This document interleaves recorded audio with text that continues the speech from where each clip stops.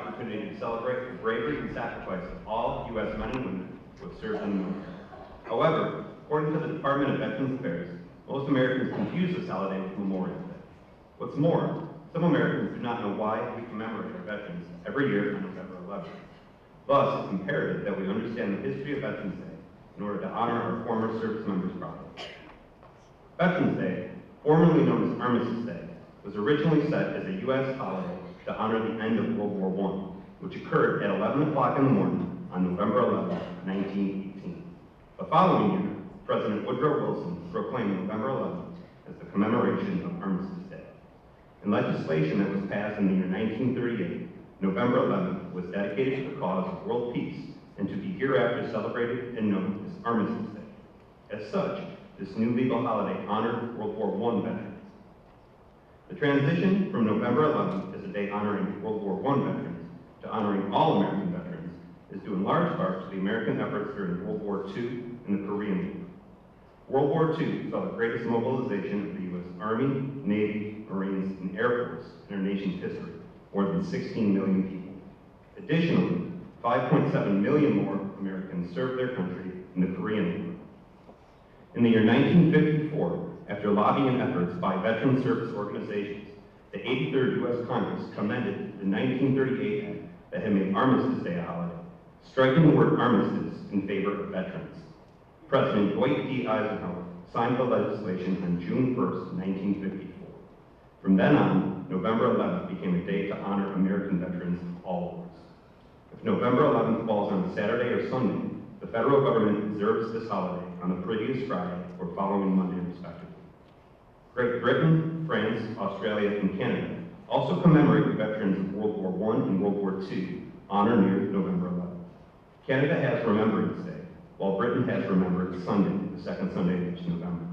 In Europe, Great Britain, and Australia, it is common to observe two minutes of silence at 11 a.m. every November 11th. Here in the United States, an official wreath-laying ceremony is held each Veterans Day at the Tomb of the Unknown Soldier in Arlington National Cemetery, while parades and other celebrations are held in states across the country. Veterans Day, again not to be confused with Memorial Day, a common misunderstanding, the fourth Monday of May, honors American service members who died in service to their country, or as a result of injuries occurred during battle. Veterans Day is a time for us to pay tribute to all American veterans, living or dead, but to especially give thanks to our living veterans who served their country honorably, either during war or peace. Uh, Great Britain, Flanders, a county on the North Sea that um, was a, a, often a battleground throughout many hundreds of years in, in Great Britain.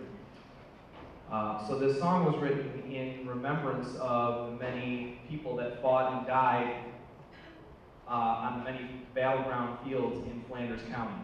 So this song is called In Flanders Fields, and this is the BHS Chorale.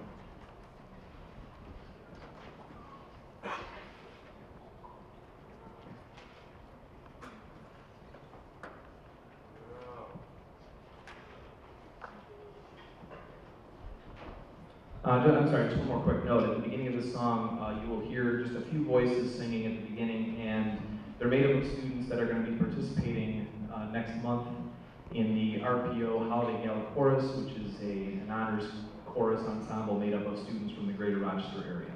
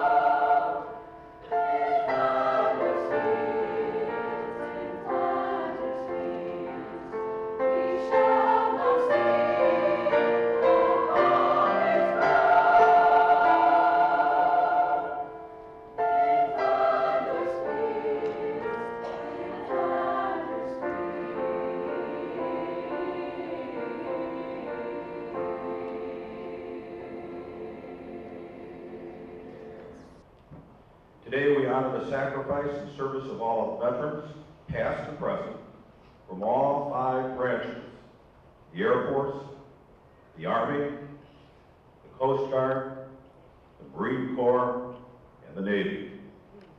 In 1945, President Harry S. Truman said, "Our debt to the heroic men and valiant women in the service of our country can never be repaid. They have earned our undying gratitude. America will never forget their sacrifices." Those words ring true as much today as they did then. Today is a nod to their devotion to our country and our freedoms. Please take a moment to think about it. Medic James Allen. Gregory Sezak.